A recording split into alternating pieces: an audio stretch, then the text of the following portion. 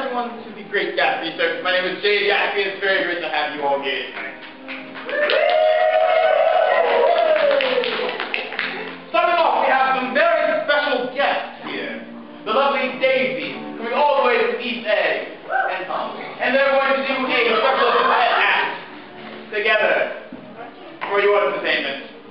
Please give them a round of applause.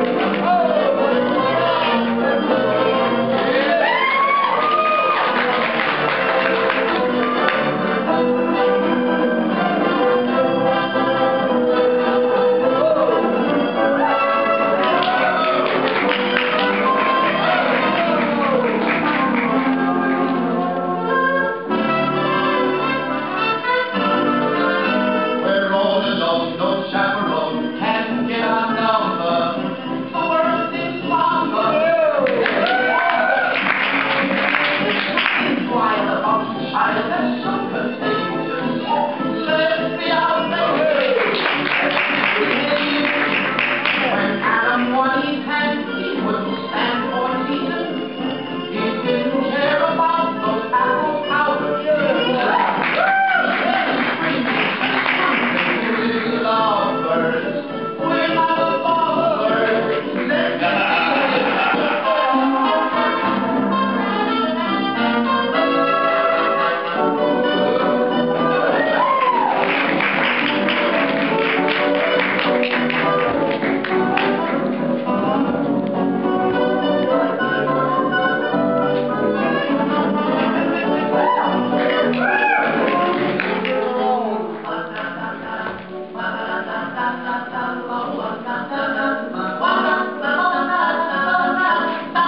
Misbehave.